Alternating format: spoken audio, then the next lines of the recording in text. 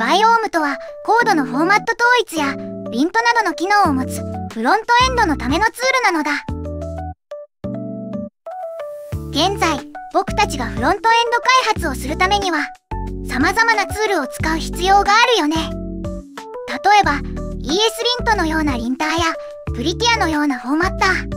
そしてバベルやタイプスクリプトといったトランスパイラあとは Webpack やロールアップなどのモジュールバンドラーとかも必要だよね。これらのツールを組み合わせることで僕たちは一つの開発環境を作るわけだけどこんなにツールがたくさんあったら管理するのが大変だよね。ツールが増えるとその分設定ファイルも増えるしバージョンアップなどの作業もツールの数だけ必要になるのだ。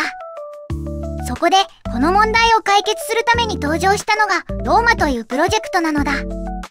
ローマは開発に必要な様々なツールを一つのツールにまとめて提供しようとしたプロジェクトなのだ。ローマを開発していたのは有名なエンジニアであるセバスティアン・マッケンジー氏でバベルやヤーンの生みの親でもある人なのだ。ローマは当時多くの期待を集めたプロジェクトだったんだけど途中でいろいろな事情が重なって開発がストップしてしまったのだ。そこでもともとあったローマをフォークする形でプロジェクトが新しく作り直されたのだ。それが今回のテーマでもあるバイオームなのだ。バイオームはローマの思想を引き継ぐものとして2回目のローマという意味を持ったビスローマつまりBiomeという名前を付けたのだ。なお Biomeは今のところリンターとフォーマッターの機能のみを提供しているのだ。だからこの動画でもこの2つの機能に焦点を当てて解説していくのだ。それじゃ実際に Biomeを使ってみよう。 Biomeを使うためにはこの npm インストールコマンドをコピーしてターミナルに貼り付けて実行するのだ。そしたら今度は npx バイオームイニットというコマンドを実行して設定ファイルを作成するのだ。プロジェクトのルートディレクトリに biome.json というファイルがあれば OK なのだ。これでセットアップは完了なのだ。それじゃ早速バイオームの世界に入ってみよう。まずはフォーマットコマンドについて解説するのだ。フォーマットコマンドは簡単に言うとソースコードを整形して読みやすくするための機能なのだ。ターミナルを開いて npx バイオームフォーマットと入力してその後ろにファイル名を指定するのだ。